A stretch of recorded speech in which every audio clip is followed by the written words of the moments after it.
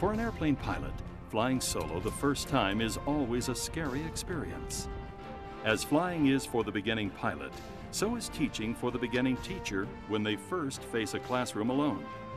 Knowing what to expect ahead of time provides a comfort level for either profession. I would tell the new teachers that you don't learn it all in one day.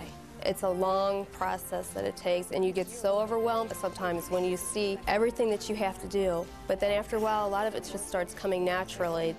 Without proper readiness, too many beginning teachers leave teaching before really getting their careers off the ground. Within five years, we lose 50%. Now, it depends upon which study you read, but 50%. Think of all the money they put into their undergraduate training. And there's some evidence that the 50% that are leaving are some of our best and most talented. And they are not leaving for more money in the outside sector. They are leaving because of discipline, stress of managing today's classroom with today's kids with so many different needs. This issue of the Video Journal of Education gives the beginning teacher useful strategies for launching rewarding careers through proactive classroom management.